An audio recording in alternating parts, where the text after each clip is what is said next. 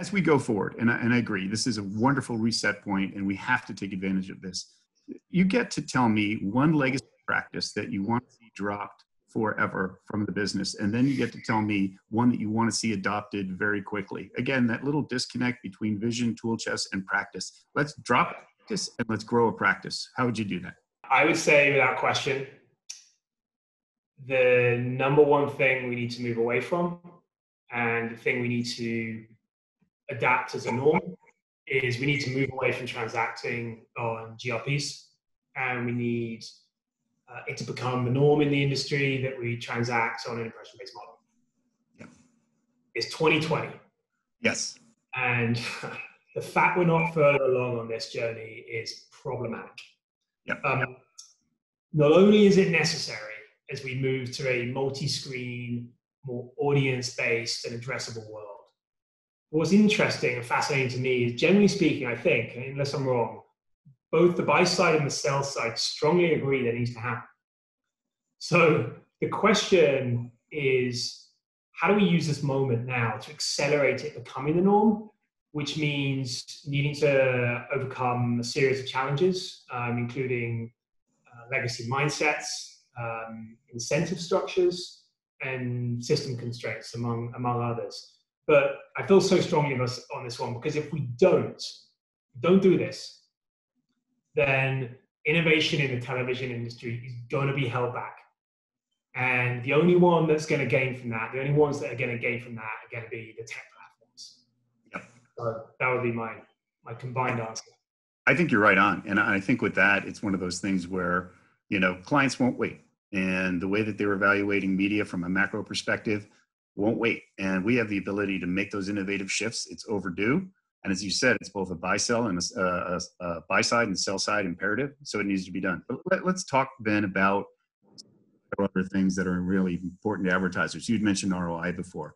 Are you finding, you know, right now, 2020, 2021, that if you want a larger share of the ad budget, that attribution and ROI has got to be part of the part of the conversation. Are you finding that more often with clients who aren't talking spe- specifically about well executed, but in other words, productive media plans and productive schedules and productive yeah. and productive executions? Are you being held uh, in terms of looking at increases in ad budgets to standards about you know look we need to see attribution, we need to see ROI?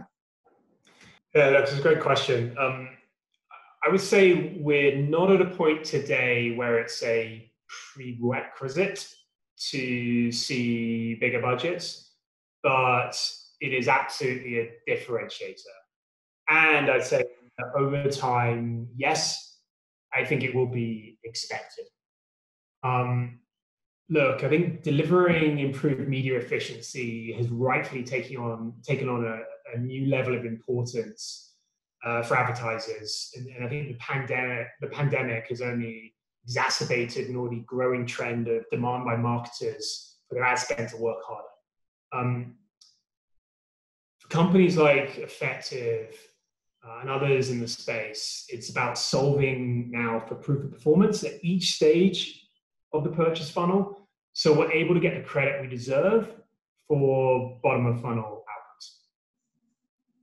I think that's critical. And with respect to, you know, you you have tremendous amount of first party data. You're able to take a look at a lot of different data sets and you understand, you know, lift and performance and things like that. Uh, you're confident going forward that as we get ever into a world of sort of prove it to me economics, and I, I get your point that it's not quite there yet with respect to, you know, qualifying for larger budgets now, but it certainly will be in the future.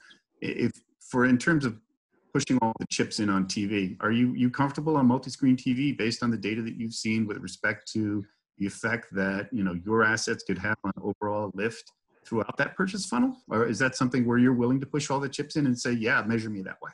Yeah, totally. Because the you know, truth's on our side here. Um, yeah.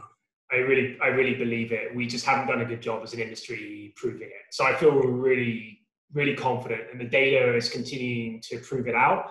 Um, I think that we're not where we need to be in it in terms of um, proof of performance just being de facto, and it should be. And I think when that happens, you're going to see a shift of dollars uh, away from bottom of funnel players as the reality of um, the value of kind of top and mid funnel uh, comes to fruition. I think on the point on multi-screen, um, just as an example, we actually just finished a study with MediaScience that showed when ads air on TV and digital uh, channels together versus uh, digital alone, we saw a kind of 2x increase in brand recall and 50% increase in, in brand intent.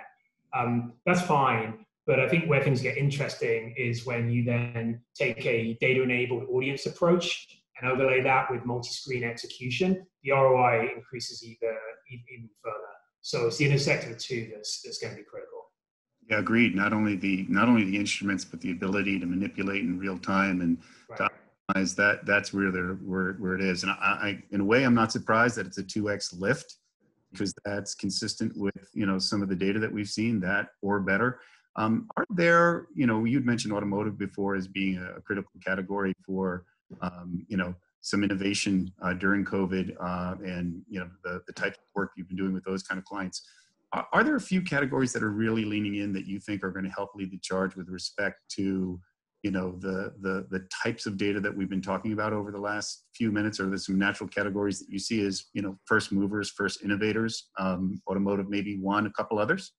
Yeah um, autos one finance healthcare are, others. But honestly i think it's less category specific. Um, it's more the progressive advertisers who are shifting to more kind of audience based multi-screen buying and as part of that um, that value prop, they are wanting proof of performance. And so it really comes down to sophistication. Um, I will say that, you know, as we talk about top funnel, bottom of funnel arguments, it's interesting because I believe you speak to any any marketer, all marketers, they'll say brand building matters in terms of delivering results. Um, marketers know the importance of brand advertising to drive results we just need to do a better job of proving it. And I think um, one of the best examples here is something that I know is close to close to your heart, Sean, and that's looking at the direct consumer companies that were sure. born on social channels.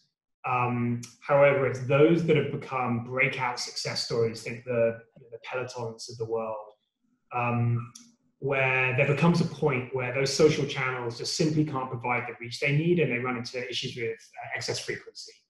Um, and based on the conversations I think we both had with those those companies, multi-screen television has played an absolutely crucial role in helping them scale and kind of go mass market. And I will I will butcher the, the your own your own stats, but um, you know I, I, believe your own research was showing uh, for those that uh, were running TV campaigns, kind of post campaign, the low level of 20 30 percent lift in website unique visitors and those that really pushed a lot of dollars into TV, sometimes up to over 200% lift. And yep. our work um, within Effect has proven the same. We, during COVID, we ran a study with one of our attribution partners, TVSquared, um, where we looked at website lists for clients that stayed on air and those that didn't during uh, the first few months of COVID um, advertisers that remained on air experienced a prolonged impact of um, around 20, 23, 25% more website engagement in the subsequent weeks after their um, multi-screen television campaign ran. Um, and those that went off air saw website visits drop by an average of 20%. So, you know, we're scratching the surface, but the, the data is going to prove it out. And I, I believe that low funnel target advertising is, of course, a valuable part of the overall media mix. There's no question. My point is that it's those lower funnel companies are taking too much credit for the value that middle and upper funnel solutions are driving, and that's just got to change. And I, I think you're I think you're right on with with respect to sort of a whole a whole mind shift. And because to your point, there are you know active wide scale advertisers that are showing how to work the full funnel at the same time that are showing you know the, an incredible strength at you know activation and lower funnel. But at the same time even in one creative execution or building brand or building loyalty or you know or you know building longer you know term assets and longer term equities. And exactly.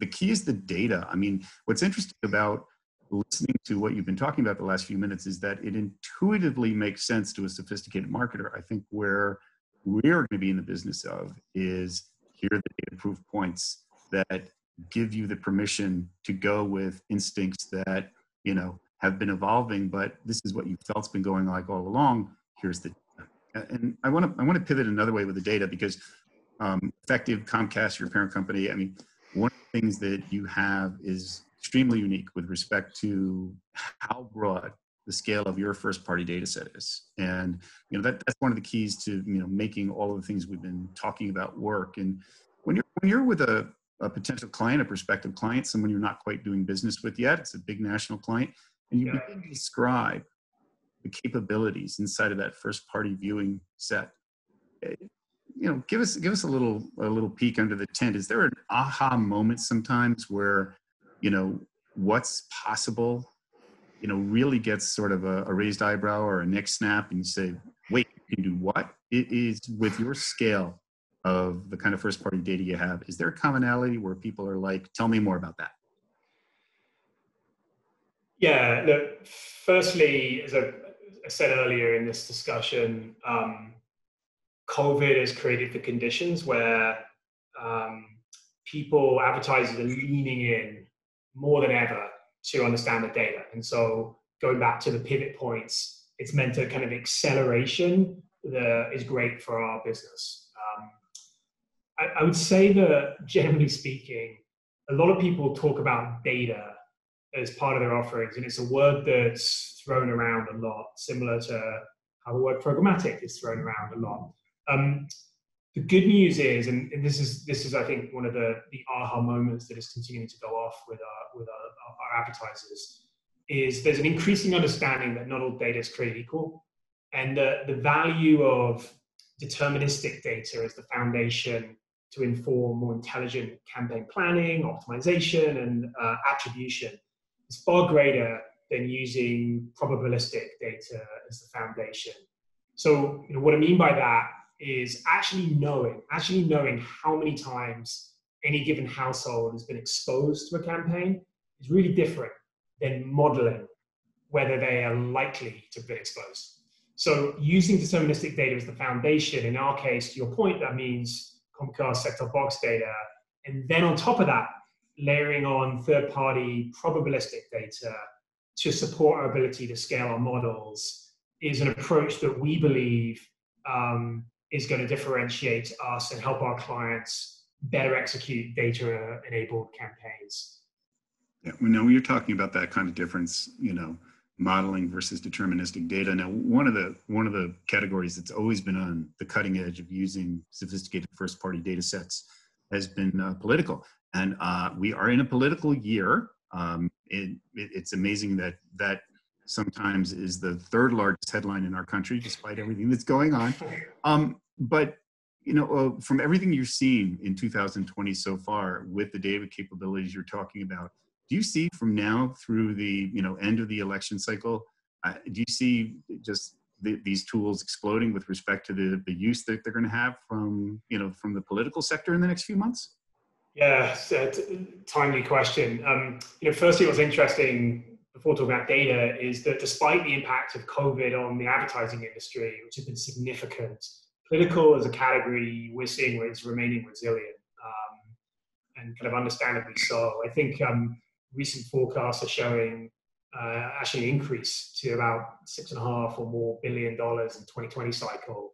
Um, and I think we're also going to see a record spend on digital, um, something that you know we feel really confident with our ability to support based on the scale of multi-screen inventory we got. But yeah, in terms of data, the political industry is absolutely on the cutting edge.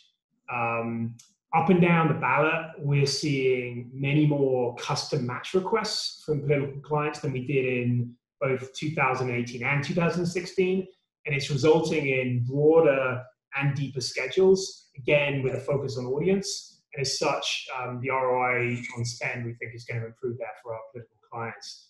Um, leaning in in data, though, is also having a secondary impact um, and accelerating a move to multi-screen executions within political advertising um, with the recognition of the growth of kind of streaming TV. And we're seeing significant demand for targeted OTT inventory for the general election window as buyers look to um, have scale uh, across both television and streaming TV channels. That's an area we're focused on. Um, and then finally, I'd say with this OTT inventory, there's a real focus in political um, programmatic execution on that is becoming increasingly important. Um, we're making that we're making some of our inventory available for purchase through our DSP partners um, on a programmatic guarantee basis. So it's really just greater automation. So taking political overall, it's really fascinating because I think it's a bit of a bellwether for what may happen in 2021, uh, in particular with the kind of accelerating use of use of data.